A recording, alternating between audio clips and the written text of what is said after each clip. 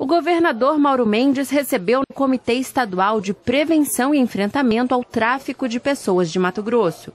Representantes do governo boliviano também participaram do encontro para debater e avaliar a atual situação da fronteira entre Brasil e Bolívia. Essa reunião, é, ela vai nos oportunizar que a gente possa, a partir de então, a gente ter ações em conjunto nesse enfrentamento. Após o encontro, o comitê deu início à segunda reunião bilateral Brasil-Bolívia sobre tráfico de pessoas, também realizada no Palácio Paiaguás.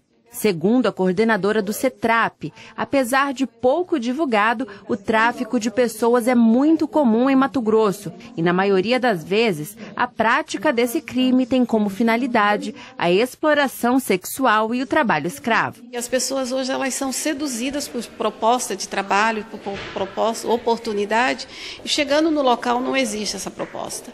Então, a primeira coisa é prevenir é saber que esse crime ele existe e que esse crime ele precisa ser diminuído com urgência aqui no estado de Mato Grosso. Durante o evento, que termina na próxima quarta-feira, dia 31, os órgãos vão debater suas propostas para criar um plano de ação para prevenir o tráfico de pessoas na fronteira e um protocolo de intenções será assinado entre os países para legitimar a parceria no combate a esse crime. Nós temos um plano estadual e a Bolívia Bolívia estava constituindo uma comissão nacional de enfrentamento ao tráfico de pessoas.